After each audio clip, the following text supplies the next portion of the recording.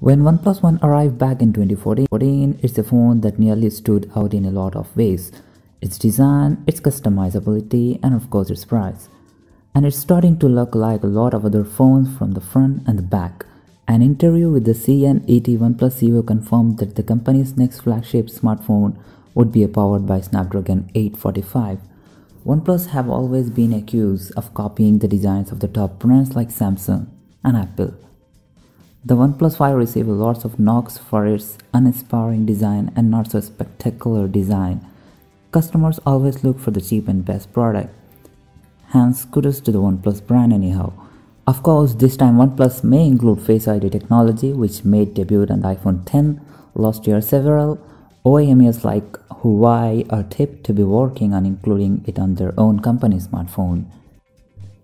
A tipster who is doomed at the presence of the similar advanced facial recognition system as found on iPhone 10 and OnePlus will come with a similar camera hardware setup like iPhone 10, including a 3D camera module that will use infrared light to measure the depth, expecting a similar notch on the display as found on the iPhone 10, though rather the device is said to have a full top bezel my question is where the extra sensor should maybe located in.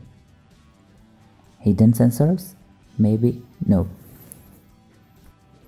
Let's have a look at the specification to be. It is said to be the it will have 6-inch QHD plus display along with 128 gigs of internal memory and 8 gigs of RAM. It will also contain IP68 water resistant and this time the company has put the way more a little more battery power. So this will contain 3500 milliamp battery. Of course the dash charging. The device comes with a 16 megapixel front camera and a 16 megapixel rear camera. Will feature android oreo definitely for sure under display fingerprint scanner. It is said to be the display fingerprint scanner gonna be in this OnePlus 6 which I doubt and don't think OnePlus do it now.